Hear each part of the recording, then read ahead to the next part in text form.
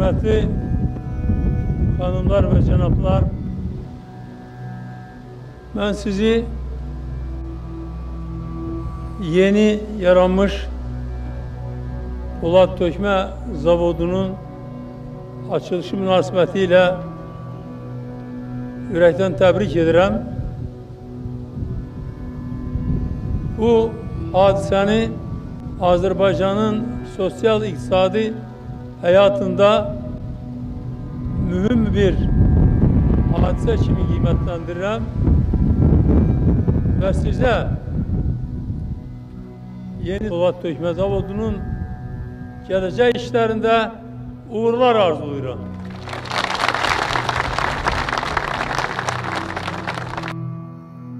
Yəqin xatırlayarsınız, Sovetlər Birliyi dağılandan sonra 2003-cü ildə Zülfüqarlı qardaşları mərhum prezident Heydər Əliyevin dəvəti ilə Moskvadakı işlərini buraxaraq Azərbaycana gəlirlər. Fəaliyyətə dayandırılan zavodlara 10 milyonlarla dollar sərmayə qoyub, onu başdan yeniləyirlər. Ölkədə azad sahibkarlığın inkişafı üçün böyük işlər görməyə başlayırlar. Bakı Polad Tökmə ASC, Bakı Elektroştamp ASC adı ilə məşhurlaşan zavod 2-3 il ərzində dirçəlir. İstehsal gücü artır, dividendlər ödənilir. Bu müddət ərzində 1000 nəfərə yaxın işçi zavodda çalışmağa başlayır.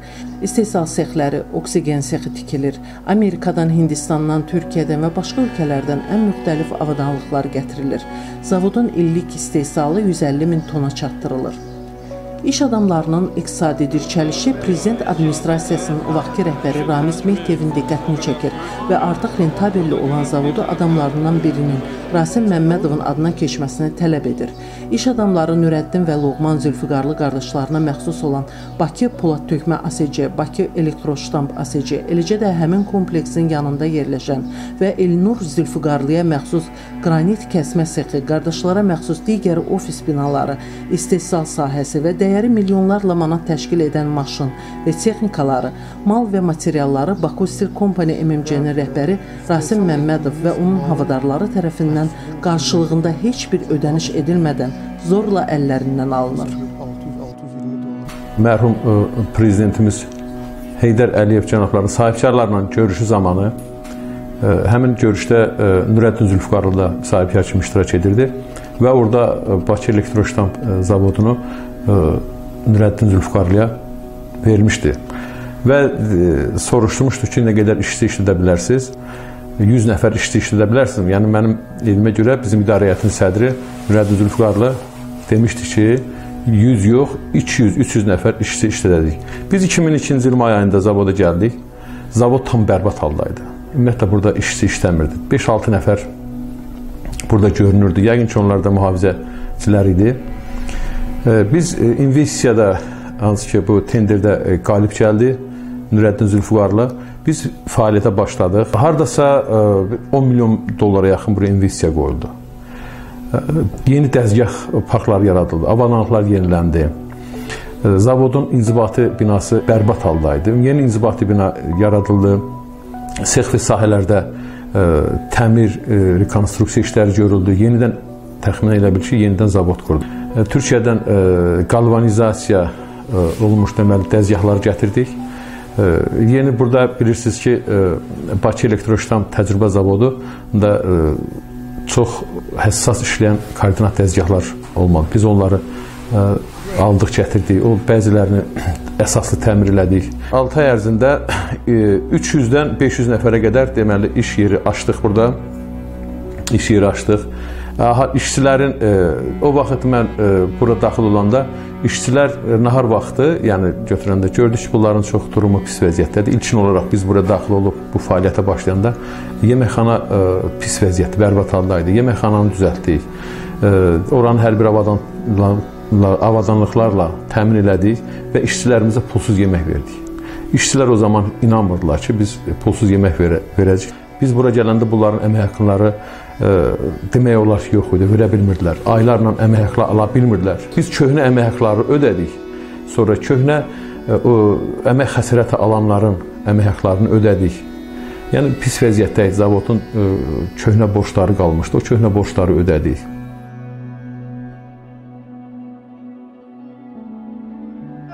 Rasim Məmmədovun mühafizəçi adı altında saxladığı silahlı dəstəsi Zülfüqarlı qardaşlarının zavodlarına silahlı basqın edir. Neyle başlı olmalıdır? Çöllere mi dökülmelidir? Biz siyasi iktisadi reformalar yaparız.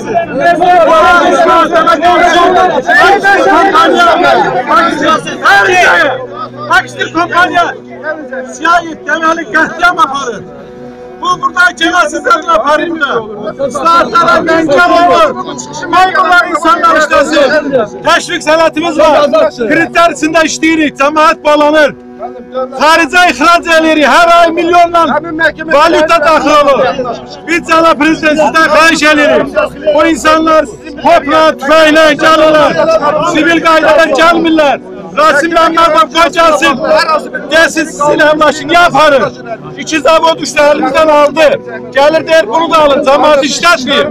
Bu deməli, sabotajlı islahatlara qarşı mən cənab prezidentdən bir də xahiş eləyirəm. Biz de xahiş ki, bunları yığışdırsın. Bu insanlar çöldə qalıblar. Çox su qalıb. Sözünüzü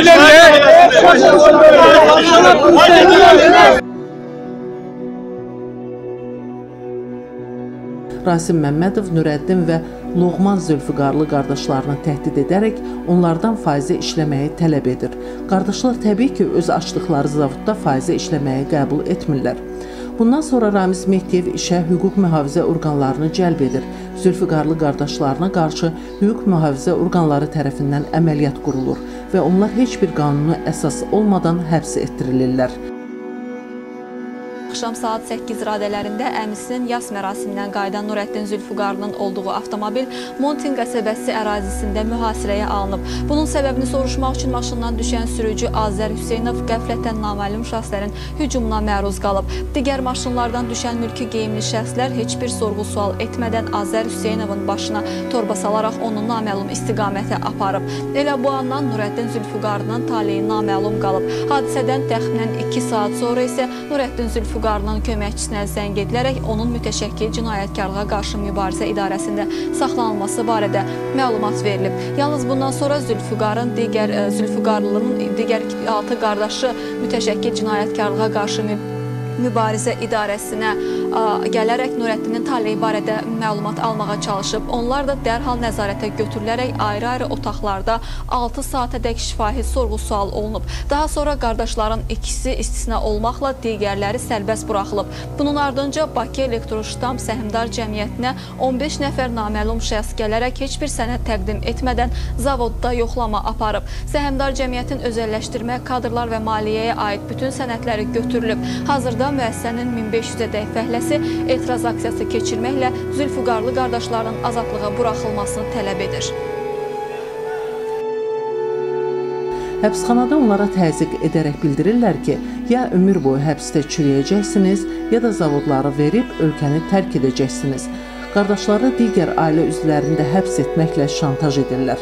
Nəticədə Zülfüqarlı qardaşlarına ağ kağıza qol çəkdirib, sonra da onların bütün əmlaklarını əllərindən alıb ölkədən didərgin salırlar. Nəticədə yalnız Bakı Polad Tökmə ASC-ni və Bakı Elektroştamp ASC-ni deyil, Zülfüqarlı qardaşlarının bütün biznesinin təxminən 15-ə yaxın istehsal müəssisəsini, əmlaklarını əlindən alırlar, minlərlə insan işsiz qalır.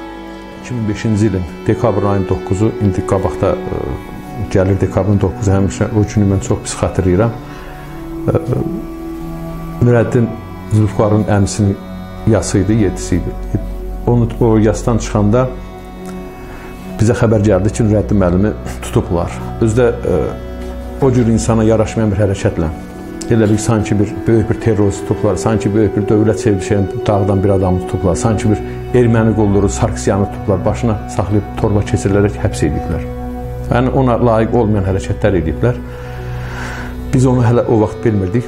Məni də təcili zavoda çağırdılar Bakı Pula Töyümü. Adətən həmişə qəza vəziyyətlər olanda biz zavoda gedirdik, işimizi düzüb qoşurduq.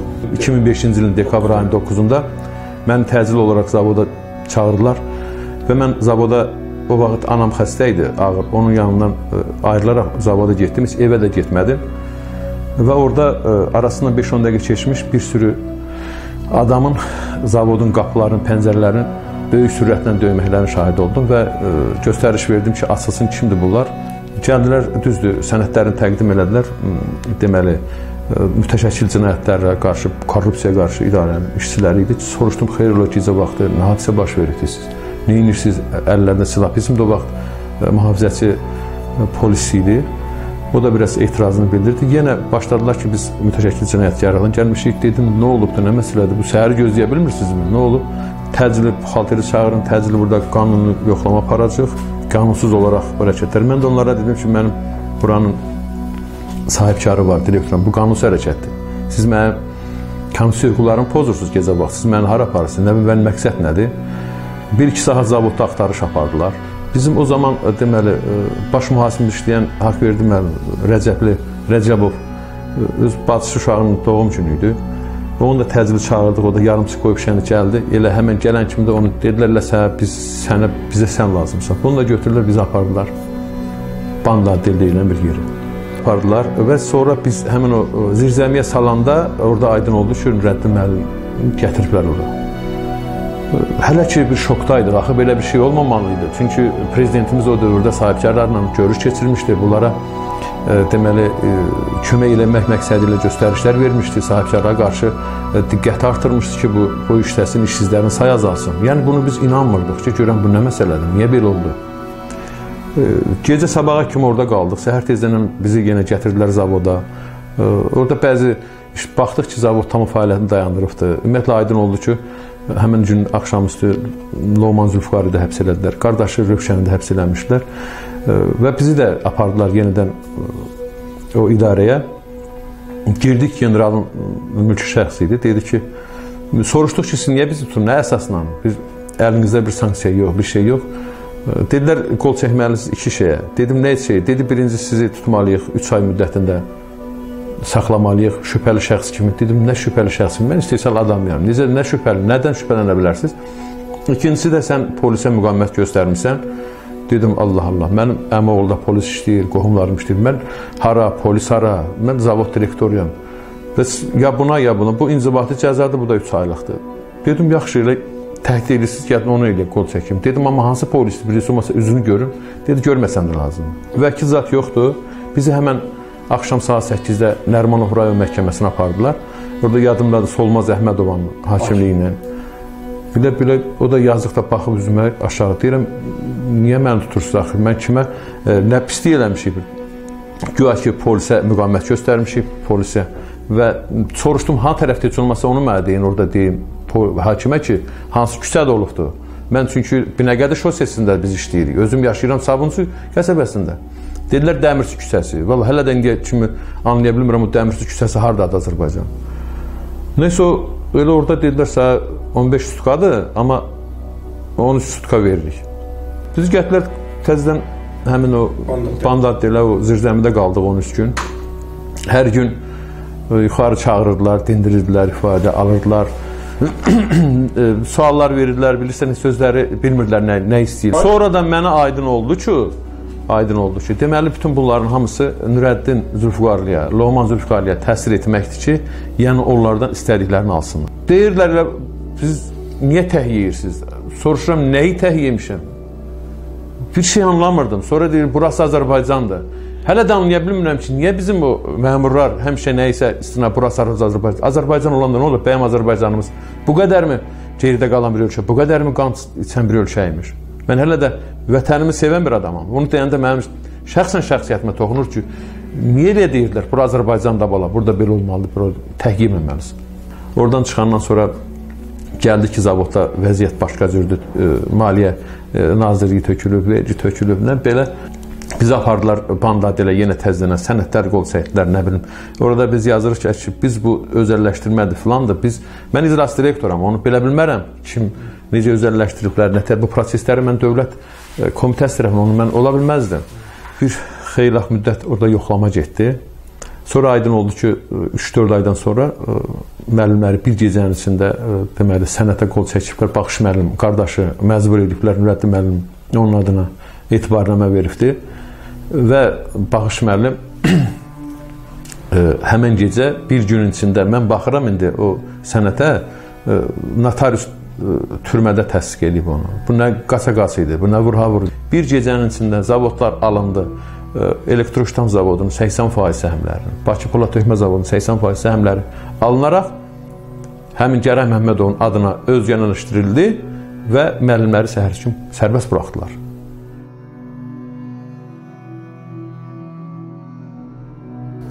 ...2011-ci ilin dekabrında Yeni Müsavat qəzetinin əməkdaşları Zülfüqarlı qardaşlarının əmlakını alan kasıb milyonçu Gəray Məmmədovun izinə düşür.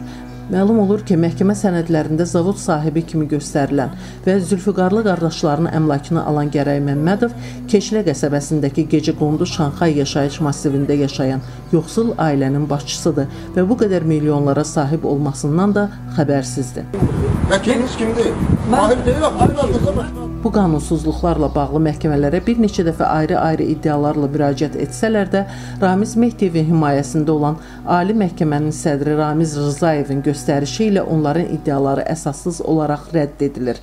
Əksinə, Rasim Məmmədovun heç bir əsasa və sübuta söykənməyən iddiaları isə çıxarılan ədalətsiz qərarlar nəticəsində dərhal təmin edilir. Halbuki ailə üzvlərinin razılığı olmadan bu əmlakların özgəninkiləşdirilməsinə qanun icazə vermir.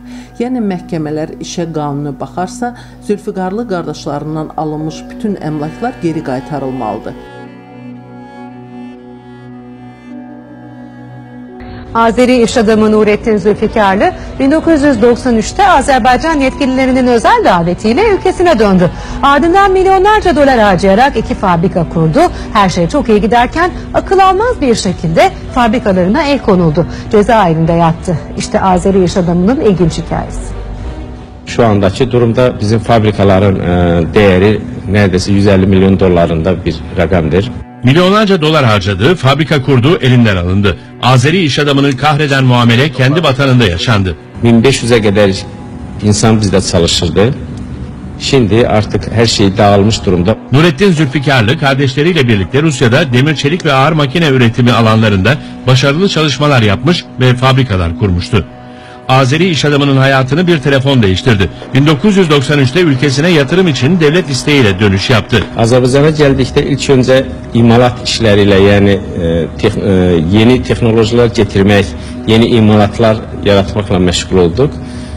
E, 2002 ile kadar böyle devam ettik. Zülfikarlı milyonlarca dolar yatırım yaparak atıl olan iki fabrikayı yeniden faaliyete geçirdi. Kısa zamanda iş adamları arasında zirveye oturdu. Yaptığı işlerle Azerbaycan Devlet Başkanı'nın elinden plaket aldı. Bir isteği vardı. Devlet kurumlarının iş adamlarına törettikleri engellerden e, konuştum. Ve o zaman bu e, biz e, sıra devlet e, rehberlerinin hoşuna gelmedi. Her şey yolundayken bir anda devlet yetkilileri karşısına şok bir teklifle çıktı. 2004 senede her iki fabrikamız artık e, gelir verme durumuna gelip çattıkta, yetiştikdə, zamana gelip yetiştikdə məni e, Dövlət Bakanı Kerem Həsənov e, Əmlak Komitəsi deyilən bir bizdə Dövlət Bakanlığı var, e, yanına davet etdi. Dedi ki, sen Bakı Elektroştamp fabrikası ilə Bakı Polad Tökmə fabrikasını geri iade etmen lazım. İş adamı Zülfikarlı bir anda kendini cezaevinde buldu. 9 Aralık 2005-ci sənədə məni və üç, e, məndən başqa iki qardaşımı polis başımıza e, kesə keçirərək tutukladı. Heç bir səbəb olmadan tutukladı və cəza evinə atdılar. Cezaevi sürecinde fabrikalarını baskı ve tehdit yoluyla tamamen kaybetti. Baskı altında e, vəkalət aldılar. Vəkal alınan vəkalət əsasında aynı gündə bir gün içərisində iki fabrikanın 80% hissələri heç aidiyyəti olmayan, iş dünyasından xəbəri olmayan ə, çoban məsləyi olan Lirik rayon sakini Gəray Məmmədovun isminə sənədləşdirilir. Cezaevinden fabrikalarını kaybetmiş şekilde çıkan iş adamı Zülfikarlı'ya onu umutlandıran ilginç bir teklif geldi. Ancak bu da yeni bir oyunun parçasıydı. Siz fabrikaları çalıştırın, hər şeyi yerinə qoyun, zaman içərisində sizin ə, əlinizdən alan hissələri geri verəcək. Ancaq öyle olmadı. Biz fabrikaları yenidən ə, işlek duruma getirdikten sonra, çalışır duruma getirdikten sonra, gelirli olduktan sonra artık onlar kendi e, adamlarını gönderdiler. Silahlı 15 kişi geldi. Bir gün içerisinde bizim orada çıkarttılar. İş adamının iddiasına göre bu olayların arkasında iki isim vardı. O zaman sorduğumuz zaman bu işin arkasında e, Azerbaycan Respublikası Cumhurbaşkanlığının aparatının rəhbəri Ramiz Mehdiyev və Azərbaycan Respublikası Cumhurbaşqanının koruma rəhbəri Beylər Eybovdu deyə dedilər. Hər kəs açıqlasına dedi. Nurettin Zülfikarlı can güvenlikleri de tehlikede olduğu gerekçesiyle bir yıl önce Türkiye'ye yerleşti. İş hayatına kaldığı yerden devam etti. 7 sene bundan önce Dubai'daki biznesimizi Türkiye'ye taşımıştık. Burada e, artık işlerimiz vardı. Mecburen e, Türkiye'ye sığındık. Şu anda da e, Türkiye'deyiz. Haklarımızı almak için, haklarımıza çatmak için her yere müracaat etmişik.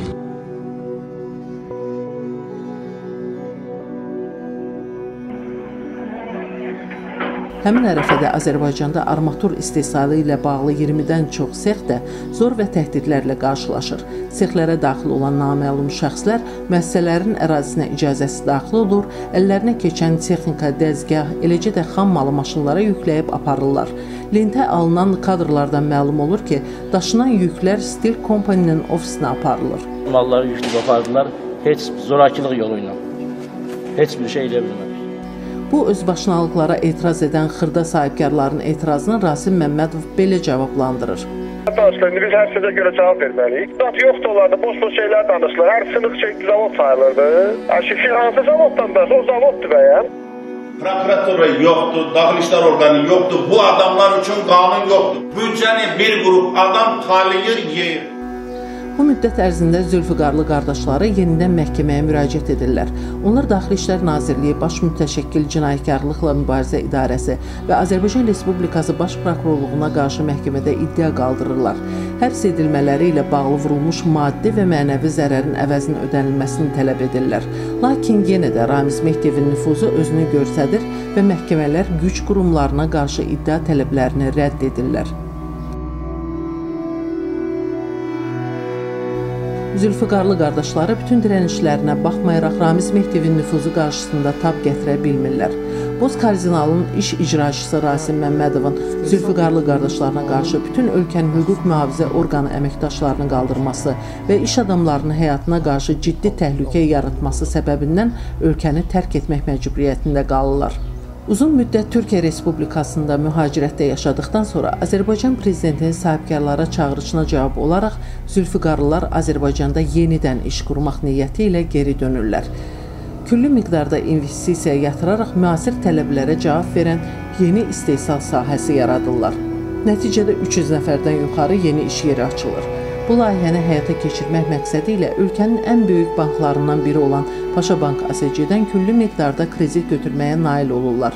Bu istehsal sahəsini qurarkən prezidentin investisiyaların təşviqi ilə bağlı əlavə tədbirlər haqqında 2016-cı və 745 nömrəli fərmanına uyğun olaraq İqtisadiyyat Nazirliyindən 2017-ci ildə investisiya təşviqi sənədini əldə edirlər.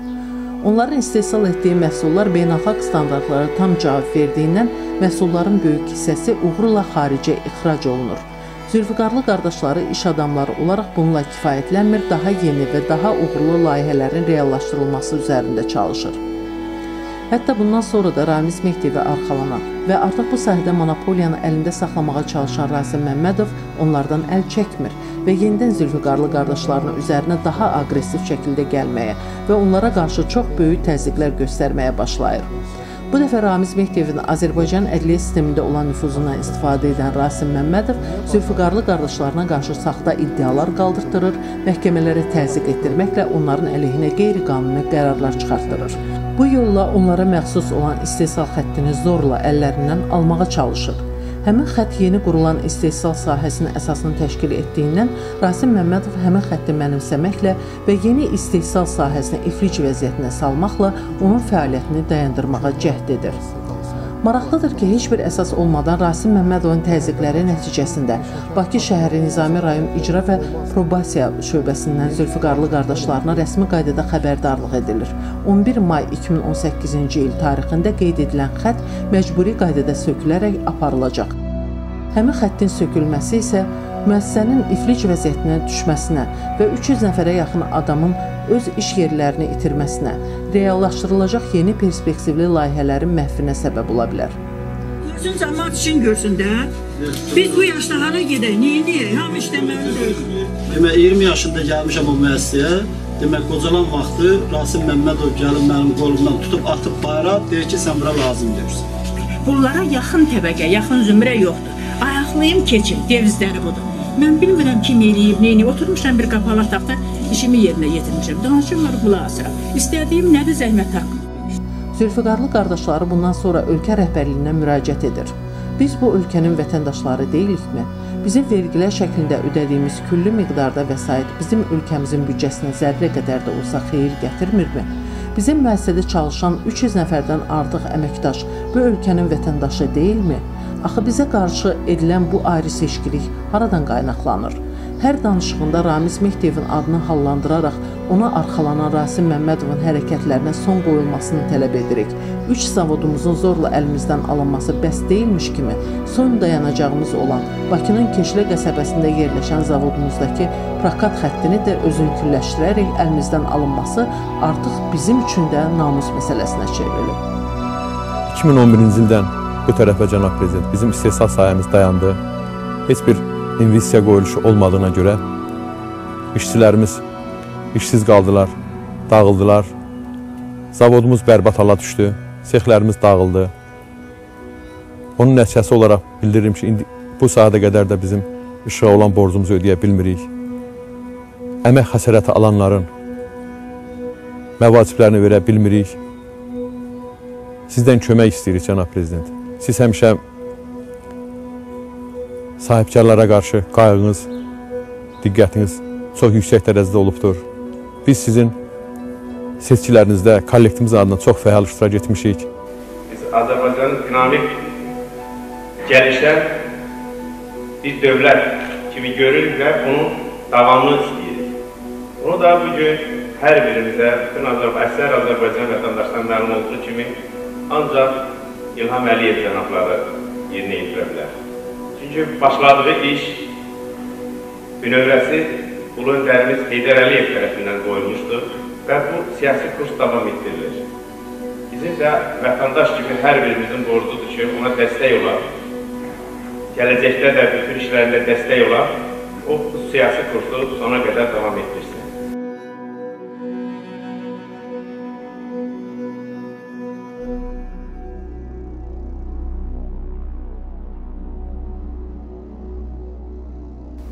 Daha bir məhkəmə çəkişməsi hazırda Ali məhkəmədədir. Rasim Məmmədov Ramiz Rızayevin və Ramiz Mehdivin dəstəyi ilə qanunsuz məhkəmə qərarı çıxartdıraraq 2018-ci ilin may ayında Zülfüqarlı qardaşlarına məxsus Birlik MMC-nin balansında olan istehsal xəttini sökür və özünün Suraxanı qəsəbəsində yerləşən Qustar zavoduna daşıtdırır.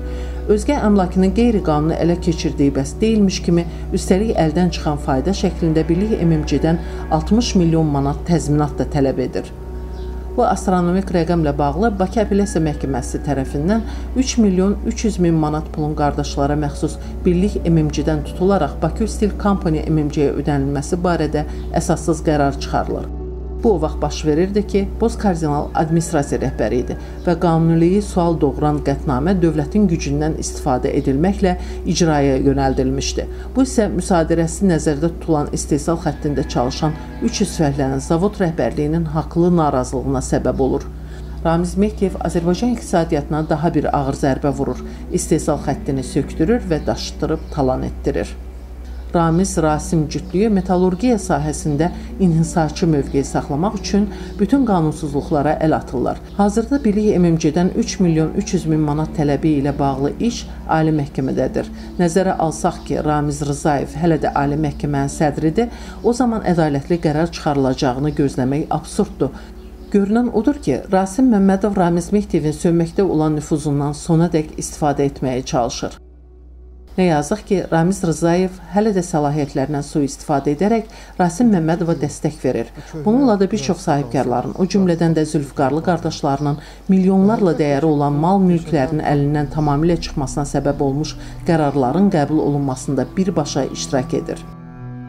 Yeri gəlmişkən, Rasim Məmmədovun 2 yaşlı oğlunun adı da Ramizdir. Gələcəyini üç ramiz üzərində kökləyən Rasim Məmmədovun bu günün nəbzini tutmaması da göz önündədir. Fəaliyyətini tənqid edən müstəqil mətbuatın üzərində getməsi, tənqidçi mediaya qarşı 4 milyon manatlıq iddia qaldırması çərxə fələyin artıq onun özünə qarşı dönməsindən xəbər verir. Özü bunun fərqində olmasa da. Məlumatlara görə vergi cinayətlərinin ibtidai araşdırılması baş idarəsi əməkdaşlarının Baku Stil Company-yə qəfil gəlişi Rasim Məmmədov çaşqının duruma salıb. Rasim Məmmədov zavodda vergi əməkdaşları ilə görüşməkdən belə imtina edərək tələsik oranı tərk edib. Xatırladaq ki, Baku Stil Company MC-nin dövlət büdcəsinə 601.510 manat borcu var. İqtisadiyyat Nazirliyi yanında dövlət vergi xidmətinə istinadən verilən məlumata görə bu şirkətlə yanaşı onun qardaşların əlindən zorla aldığı iddia edilən əvvəlki adı Bakı Polad tökmə olan Baku Stil Construction ASC-də 676.276 manat vergi borcu qalır. Beləliklə iki şirkətin ümumi borcu milyon yarım manata çatır. Borcları ödəməmək səbəbi zavodun qeyri-rentabelli olmasıdırmı? Xeyr. İqtisadçılar daha yaxşı bilər. Hər hansı sahədə yaradılan monopoliya mühiti o sahənin məhvinə gətirib çıxarır və bu qaçılmazdır. Vaxtilə Azərbaycan iqtisadiyyatına əvəzsiz xidmət göstərən Zülfüqarlı qardaşları bu gün yenə də Azərbaycandadır və Boz Kardilanın təşəbbüsü ilə ölkədə yaradılan monopoliya mühitini yarmağa çalışırlar. Bununla da dövlətə xeyir vermək üçün əllərindən gələni edirlər. Ən azı ona görə ki, bir çox dövlətlərdə uğurlu sahibkarı çevrilən Zülfüqarlı qardaşları bütün çətin zamanlarda seçim qarşısında qalanda məhz Azərbaycan dövlətini seçiblər. Sizin son çıxışlarınızdan, son qanun fərmanlarınızdan ruhlanaraq sizə müraciət edirik ki, sahibkarlarımız geri qayıtsın, iş yerlərimiz təzədən bərpa olunsun. Sizdən xahiş edirik, kömək edəsiniz, yardım edəsiniz. Kollektivimiz daha da bir yerə yığışsın, yeni istehsal yerlərimiz açaq, işsizlərimizin sayı azalsın. Biz sizin xarici və daxili siyasətinizi bəyənirik. Verdiyiniz bütün qərarlar, fərmanları alqışlayırıq və əminik ki, bizim müraciətimizi nəzərə alıb bizim kollektivə yardım edəcəksiniz. Göydə Allah, yerdə siz deyib sizə müraciət edir cənab prezident. Yardım edin, kömək edin bizə.